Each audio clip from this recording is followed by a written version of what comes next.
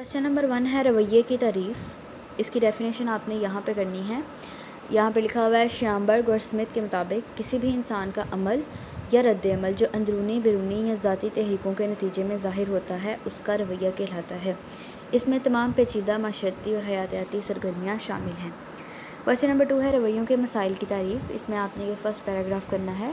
बच्चों की नॉर्मल जज्बाती नशोनमा के लिए मोहब्बत और शफकत बेहद ज़रूरी है। यानी अगर आप चाहते हैं कि अगर इमोशनली एक बच्चा जो है वो सही हो तो उसको प्रॉपरली लव और अफेक्शन बिहेवियर देना पड़ता है।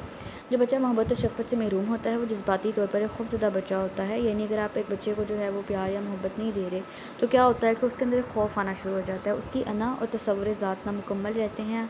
तस्वुर ज़ात यानी जो उसकी पर्सनैलिटी बिल्डिंग होती है, उसकी शख्सी जो काबिलियतें होती हैं, वो नामुकम्मल रह जाती हैं। और वो माशी और वो माशरती माहौल और ताल्लुक से भी मुताबत कायम करने में नाकाम रह जाता है। यानी वो इतनी फ्रेंडशिप्स में अच्छा नहीं होता इंट्रोवर्ट होता है, अपने आप में रहता है, ज़्यादा लोगों के अंदर घुलता मिलता नहीं होगा।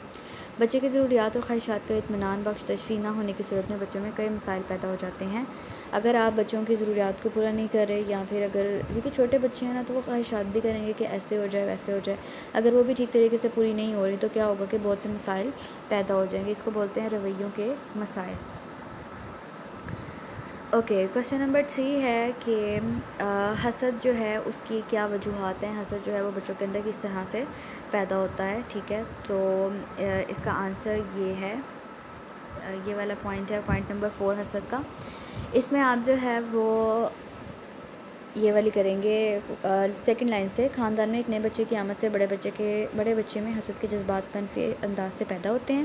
यानी आपने रीज़न्स करनी है कि किन के जैसे हसद पैदा होता है। पहली रीज़न ये है कि बड़ा बच्चा के आ जाने से दूसरी है कि इसके एहसास होने लगता है कि उससे नज़रअंदाज किया जा रहा है, उससे तवज्जो नहीं मिल रही, मोहब्बत नहीं मिल रही, वो खाने से इनकार करेगा, शेख खारगी के रवैये की तरफ़ लौट जाता है।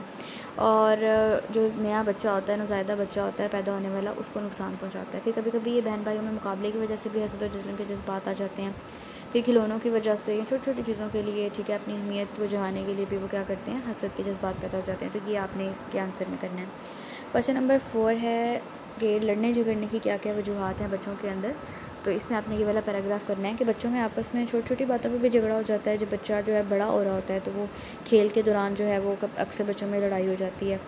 और कभी कभी ऐसा होता है कि एक बच्चा जो है, वो ज़रूर से ज़्यादा जो है, वो झगड़ालू टाइप का होता है और वो एक्सट्रीम लेवल पर चला जाता है। यानी जब वो किसी से झगड़ा करता है तो वो अगले बंदे को बहुत ज़्यादा नुकसान पहुंचाता है। तो ऐसे बच्चों को देखना चाहिए पेरेंट्स को, कि वो क्यों लड़े हैं, झगड़े हैं। अपनी नाराज़गी को इजहार करने के लिए भी बच्चे जो है, वो लड़ते हैं, झगड़ते हैं और जानवरों पर जुल्म करते हैं।